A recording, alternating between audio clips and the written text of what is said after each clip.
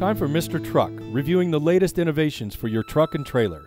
Brought to you by Transwest Truck Trailer RV, your horse trailer superstore, with RV coaches for towing, Summit Hauler for large trailers, Cimarron and Logan coach.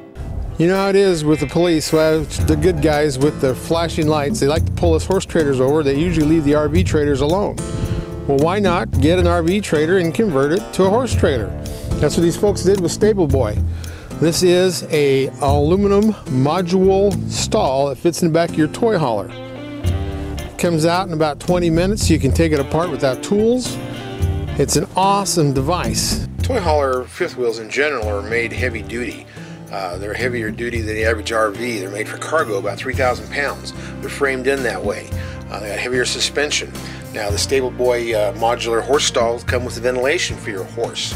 It, uh, you know, there's places to put hay. It's basically a two two load straight load, and you can convert one into just an ATV stall or a golf cart place to, to haul things, toys.